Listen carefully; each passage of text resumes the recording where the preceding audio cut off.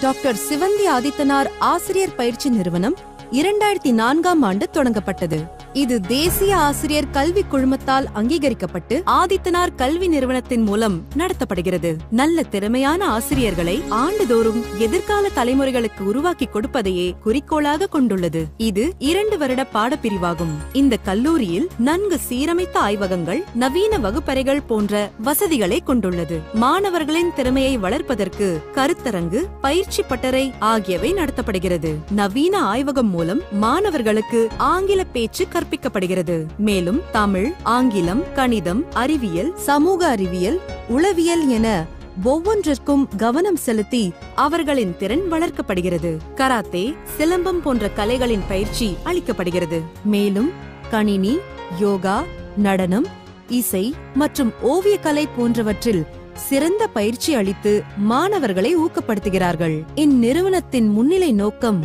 மாநில அளவிலான அரசு தேர்வில் தேர்வு பெற்று ஒரு நல்ல பதவியில் மாணவர்களை அமர்த்துவதே ஆகும். மாணவர்களுக்கு அரசு மூலம் ஊக்கத்தொகை மற்றும் உதவித்தொகை அளிக்கப்படுகிறது. ஆண்டுதோறும் நேர்காணல் நடத்தி மாணவர்களை ஒரு சிறந்த பள்ளியில் பணி அமர்த்துகின்றனர். ஆசிரியர் தேர்வாணையம் மூலம் நடத்தும் அரசு ஆசிரிய பணிக்கு இந்த கல்லூரியில் பயிலும் மாணவர்களுக்கு சிறப்பு பயிற்சி அளிக்கப்படுகிறது. டாக்டர் சிவந்தி ஆதித்தனார் ஆசிரியர் பயிற்சி கல்லூரி சிறந்த ஆசிரியரை உருவாக்கி அனைத்து ஆசிரியர்களுக்கும் முன்னோடியாக திகழும்படி அவர்களை திறம்பட மேம்படுத்தியுள்ளது. டாக்டர் சிவந்தி ஆதித்தனார் ஆசிரியர் பயிற்சி நிறுவனம் உங்கள் எதிர்காலத்திற்கான சிறந்த தேர்வு.